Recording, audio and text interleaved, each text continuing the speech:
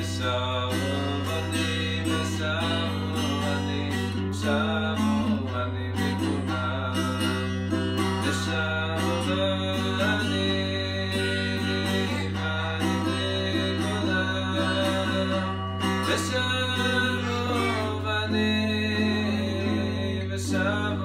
בנים לכולם הרבה פעמים אנשים עוברים חושך גדול.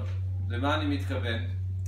לפעמים אישה מפלת. מה הכוונה?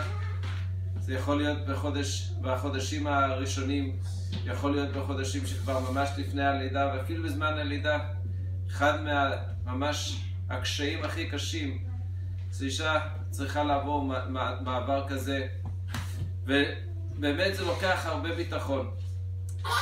הרב משה פיינסטין, זיכרונו לברכה, יש לו תשובה נפלאה, הוא נותן חיזוק גדול. שאלו אותו, מי ששאל אותו היה בחור, וזה קרה כנראה לאמא שלו, שהפילה, והוא חשב, נו, הפסדתי אח. אז הרב משה פיינסטין אמר לו, תדע לך, לא רק שלא הפסדת אח, האח הזה יקום בתחיית המתים, אבל הוא יהיה צדיק גמור, יהיה לך אח שהוא צדיק גמור. וכך משה פייסן אמר לבחור הזה, תדע לך, שלא רק שהוא יקום ויהיה צדיק גמור, אלא גם הוא לא יצטרך לעבור את המחילות, גיגול המחילות. זאת אומרת שאדם נקבר בחוץ לארץ, הוא צריך גם לעבור את המחילות. ויש בזה צער, אבל נפל, ומי שלא בא לעולם הזה, זאת אומרת הוא רק היה בצורת נפל, הוא לא צריך לעבור את צער המחילות.